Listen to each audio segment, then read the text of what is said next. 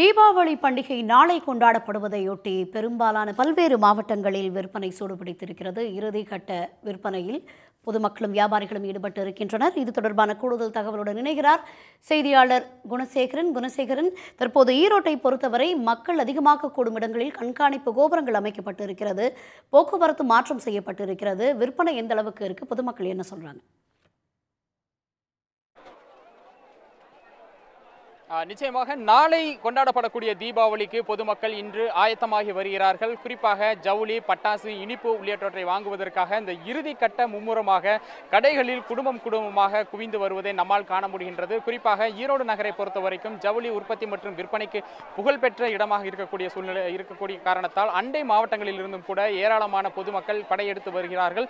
இறுதி கட்டமாக பன்னீர்செல்வம் பூங்கா மணிக்கூண்டு அதே போன்று இருக்கக்கூடிய ஈஸ்வரன் கோயில் வீதி உள்ளிட்ட பகுதிகளில் ஆயிரக்கணக்கான பொது பொதுமக்கள் இந்த பகுதியில் வந்து நி- நின்று கொண்டிருக்கிற ஜவுளிகளை வாங்கி கொண்டிருக்கின்றார்கள். அதே போன்று பட்டாசு இனிப்பு உள்ளிட்டவற்றையும் வாங்குவதற்காக வந்திருக்கிறார்கள். எந்த ஊர்ல இருந்து வந்திருக்கீங்க என்னென்ன வாங்குனீங்க நான் எல்லாரும் வாங்க நல்லா துணியாக வேணும் சரி கூட்டெல்லாம் பயங்கரமாக இருக்குதுண்ணா. ஓரளவு பரவாயில்லங்க. இளம்பிள்ளை பஸ் இங்கே தான் வருவோம்.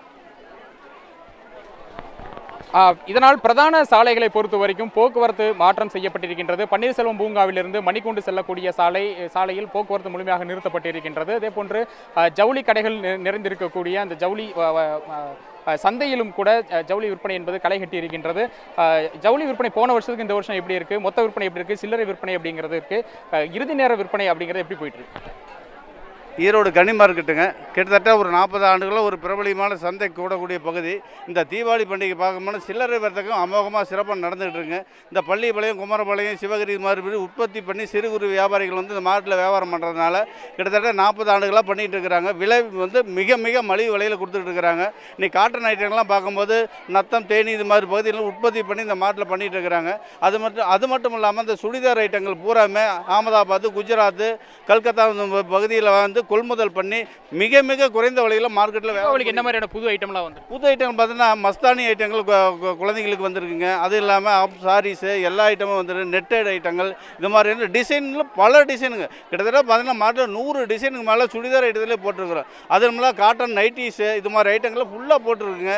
நல்லா வியாபாரம் ஆகிட்டு இன்றைக்கி இறுதி நாள்னால நல்ல வியாபாரம் ஆகிட்டு இருக்கு. சிறப்பாக ஆகிட்டு இருக்குங்க. ஈரோடு கனி மாவட்ட தலைவர் கே. ஈரோடு நகரை பொறுத்த வரைக்கும் இந்த தற்பொழுது அந்த ப- பொதுமக்களுடைய அதிக அளவு கூட்டம் கூடக்கூடிய பகுதிகளில் போலீசாருடைய பாதுகாப்பு என்பதும் பலப்படுத்தப்பட்டிருக்கிறது. ஒரு ஏழு இடங்களில் கண்காணிப்பு கோபுரங்கள் அமைத்து போலீசார் தீவிரமான ஒரு பாதுகாப்பு பணியில் ஈடுபட்டிருக்கிறார்கள். இது மட்டும் இல்லாமல் கண்காணிப்பு கேமராக்கள் அமைத்தும் முழுமையாக போலீசார் வந்து கண்காணிப்பு பணியிலும் ஈடுபட்டிருக்கிறார்கள்.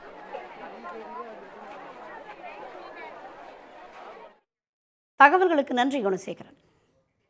உடனுக்குடன் செய்திகளை தெரிந்து கொள்ள சன் நியூஸ் பெல் ஐகானை கிளிக் பண்ணுங்க.